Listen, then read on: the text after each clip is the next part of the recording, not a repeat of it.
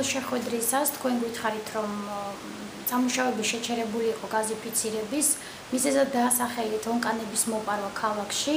როდიდან განახლდა სამუშაოები? სად მიმდინარეობს ამჟამად ეს სამუშაოები და ზოგადად რამდენი აბონენტი სარგებლობს დღეს გაზით?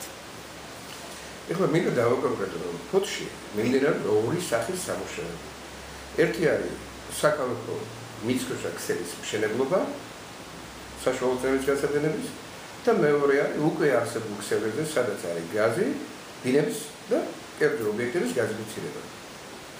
გარკვეული პერიოდი შეჩერებული იყო მშენებლობა ობიექტური მიზეზების გამო. უკვე დაახლოებით 10 დღეა განახლდა მშენებლობას რაც შეეხება ქალაქში გაზმშენებლობა მიდის, რომელსაც აწარმოებს შპს ბათუმი, ინტერგაზ ბათუმი. თუ შეხოთშორის კარგი ტემპით მუშაობდა, მასალებიც მიღებულია და სავარაუდოდ ფოთი ალბათ 4-5 თვეში სავარაუდოდ უნდა დამთავრდეს. იყო ესე იგი გარეგზე არსებული ოკანები იყო მოპარული. ჩვენ საკუთრებით ჩავაყენეთ ადმინისტრაციული ორგანოები, ანუ ქალაქის შინაგანსაკუთრება გაყოფილება.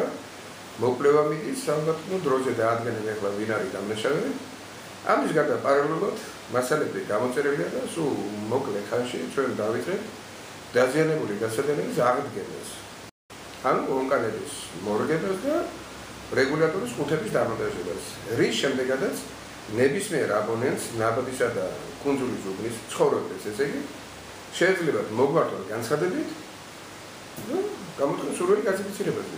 ეს ობიექტივი ძირითადად განთავსებული არის ნაბადის უბნში და ქალაქის გარკვეული ნაწილი, ცენტრის ნაწილი და მალტავა. კომპაქტურად დასახლებული დევნილები 30 კორპუსი 1088 აბონენტი. წერილობით მომართვის შემდეგ რამდენ ხანში შეუძლია აბონენტს მიიღოს გაზის აქვს? როცა მშენებლობა დამთავრდება, შემოწმდება ხარისხი უსაფრთხოება მისი გასადენების, უკვე ნებისმიერ აბონენტს შეიძლება შეიძლება დაახლოებით სავარაუდოდ ნოემბერ-დეკემბრის თვეში.